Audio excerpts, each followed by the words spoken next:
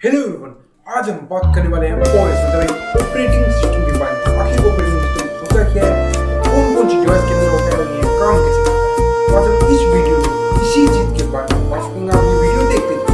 मेरा नाम है हाजिर आप देख रहे हैं तो let's start OS operating system ये एक सिस्टम सॉफ्टवेयर होता है, जो आपकी डिवाइस के हार्डवेयर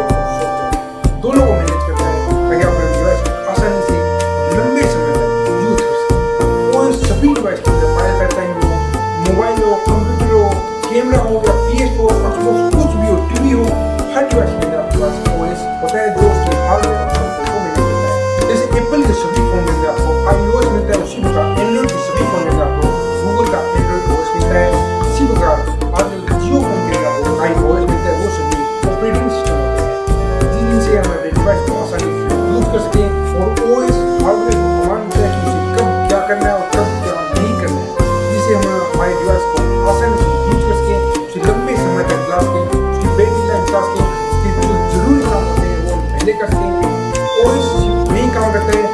जो ज़रूरी होती है, उन्हें पहले काम किया जाए, जो ज़्यादा ज़रूरी नहीं होती, उन्हें बेगा में और अपने आप कर लेते हैं यही सारा हमारा इसका काम होता है और आपको यह वीडियो पसंद आए तो हमारी वीडियो को लाइक करें हमारे चैनल को सब्सक्राइब करना न भूलें हमारे